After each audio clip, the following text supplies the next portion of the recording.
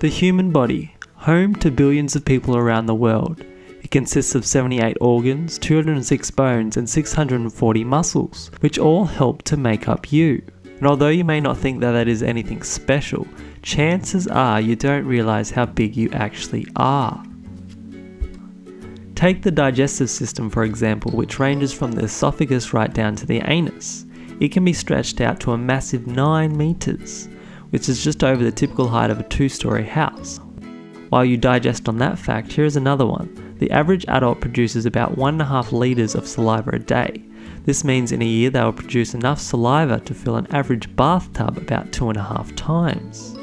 Think that's impressive? Well, your heart pumps about 7,500 litres of blood per day, with an incredible amount of power. In fact, your heart can squirt your blood 9 metres high. But if we're talking sheer volume here, our lungs blow the competition away with, on average, breathing in 7 to 8 litres of air per minute when resting. This equates to over 4 million litres a year, which is enough air to fill 270,000 balloons. This does not include the increased amount of air breathed in when you exercise, which can be as much as 100 litres a minute. Typically, your lungs are about the size of a football inside your chest, yet when laid out flat, they have the total surface area of about 50 to 75 square meters, which is roughly the same area as one side of a tennis court.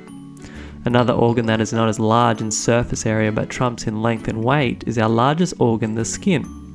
Weighing in at about 4.5 kilograms, the human skin sheds about 30,000 to 40,000 cells per minute and about 1.5 kilos per year, meaning in a lifetime our skin sheds approximately 120 kilos of dead cells. That is probably why the largest portion of dust in our homes is our dead skin. On average, your body weight is 30 to 40% muscle. Out of the 640 muscles, the biggest muscle in your body is the gluteus maximus. Why does our butt have to be so big, you ask? Well, standing up, sitting down, climbing stairs, and standing in an upright position would all not be possible if it wasn't for your relatively large gluteus maximus.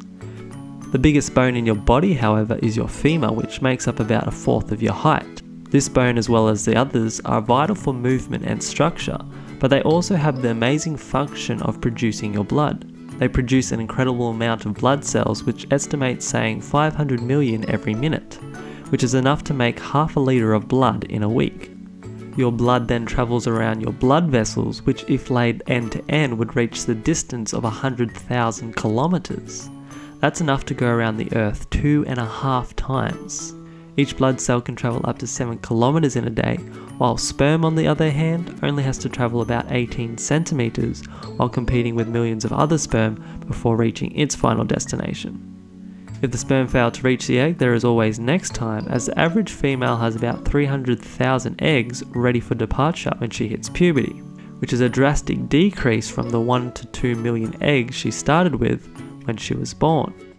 A male, on the other hand, can continue to produce sperm and can produce anywhere between 20 to 300 million sperm cells a day.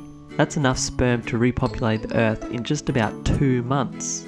Even more incredible is that from the fusion of those two cells, it can multiply and grow into a full sized adult human body, which is approximately made up of about 40 trillion cells, not to mention an extra 40 to 50 trillion bacteria cells that live in and around you, making you half bacteria.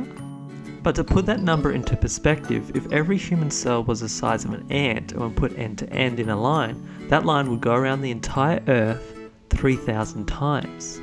Taking that a step further, each of your body's cells contain DNA, which, if it was all unraveled, would reach from the Earth to the Sun and back over 250 times.